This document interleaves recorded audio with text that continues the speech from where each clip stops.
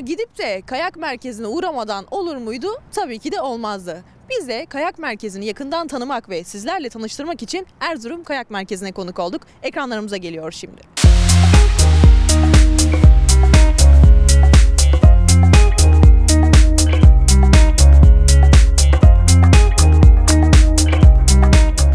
Kayak severler, sizler için Erzurum Kayak Kulübü'nde Sayın Başkanımız Bülent Ülker Beyefendi'ye konuk oluyoruz.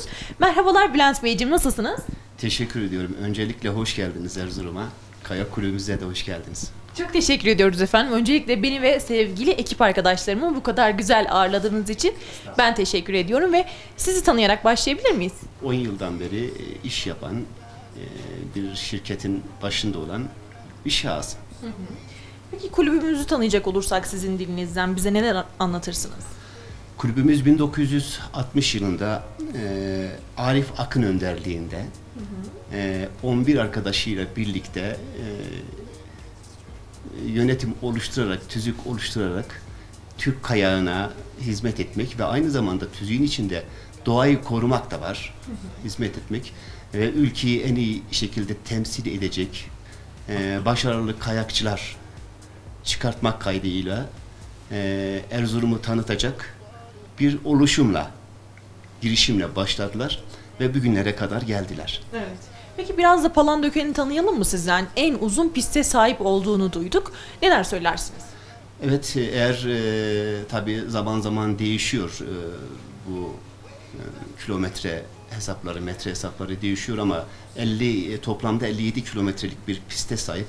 E, en uzun pisti şu anda 12 kilometre civarında. Kaç tane pist var burada? Ee, 12-13 tane pist var tabi bunların içinde kısalığı, büyüklüğü, uzunluğu. Ee, zaten rakımı herhalde girdiğiniz zaman görmüşsünüzdür. Ee, 3200 rakımda kayak yapıyorsunuz.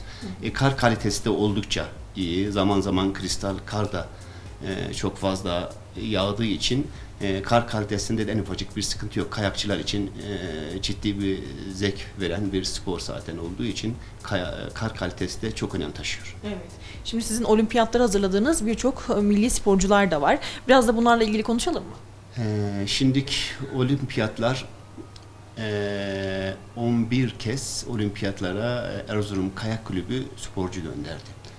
4 yılda bir yapılıyor olimpiyatlar. Takdir edersiniz ki 4 yılda bir yapılan olimpiyatların hemen hemen neredeyse eee, tamamında sporcu gönderdik. Eee, eğer kısmet olursa önümüzdeki Seul e, olimpiyatlarına da Kore'de yapılacak Seul, e, olimpiyatlarına da iki tane sporcumuz şu anda en büyük adaylardan e, bir tanesi. E, inşallah e, olimpiyatlara çocuklarımızı yollayacağız. İnşallah yollayacağız. Evet. Aldığınız birçok ödül de var sizin aynı zamanda. Ekranlarımıza da geliyor sevgili izleyicilerimiz de görüyorlar. Son zamanlarda aldığınız ödüllerden bahseder misiniz bize? Ee, En son aldığımız ödül 2012 yılında Türkiye e, kulüpler arası yarışmalardaki kupamız. O da şu anda tam gözünüzün önünde. Ee, Birçok kupa e, ödüller veyahut da yarışmalar ha- hava muhalefetinden dolayı zaten ertelenmek zorunda kalıyor. Ama son 4 yıldan beri de federasyonun almış olduğu bir kararla kulüpler arası kupa yarışları nedense biz de anlayamadık e, nedenini. Nedense yapılmıyor. Ee, Erzurum Kayak Kulübü e, 1974 yılında ilk kupasını müzesine götüren kulüp. İşte o kupamız da burada zaten. Ee, Evet, e. Görebiliyorsunuz. Evet.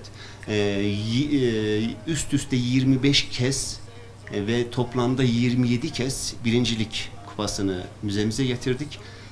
3 kupada da toplam 30 kupanın 3 kupasında da ikinci olduk zaten.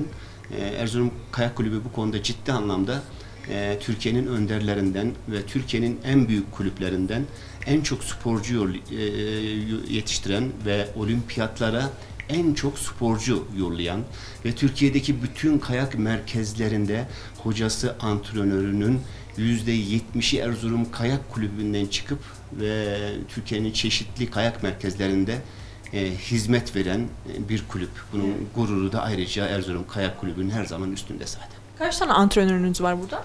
Ee, baş antrenörler birlikte 3 tane yardımcı antrenörler zaman zaman da ekstra an- antrenörler yine bizim kendi kulübümüzden çıkmış ee, destek amaçlı gelen antrenörler var. Evet. Şimdi ben geldim kayak e, yapmak istiyorum, öğrenmek istiyorum. Hangi aşamalarla başlıyoruz? Tabii acemi Önce ayakta durmayı mı öğreniyoruz? ayakta durmayı, kayağın üzerinde durmayı öğreneceksiniz. Ondan sonra da kar sapanıyla başlayacaksınız. Çok Başlayacaksınız. uzun sürüyor mu peki eğitimler Sayın Başkanım?